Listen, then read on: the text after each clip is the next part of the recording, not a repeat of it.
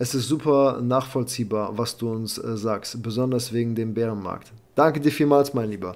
Das ist das halt, was ich, was mir geholfen hat und was mir die Augen geöffnet hat, so einfach zu verstehen, wie die, wie die Reichen und die Wale diesen Markt so manipulieren, dass sie das Höchste für sich selber herausholen können und, und mit diesen Wahlen dann zu lernen, mit diesen Wahlen mitzuschwimmen und diese gleichen Zyklen zu nutzen.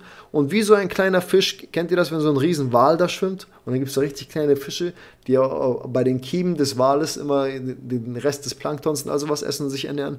Wir müssen halt lernen, wie diese kleinen Fische mit diesen Walen mitzuschwimmen und uns von ihnen zu nähren.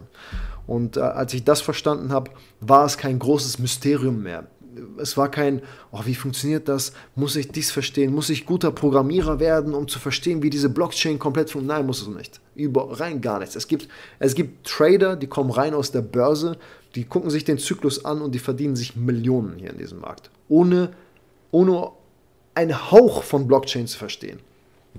Daher äh, vielen, vielen Dank. Ähm, das war auch einer der Hauptgründe, wo Aslan mir gesagt hat, man lass uns doch so einen YouTube-Channel aufmachen. Du hilfst dir doch sowieso so vielen, du erzählst hier mal so vielen.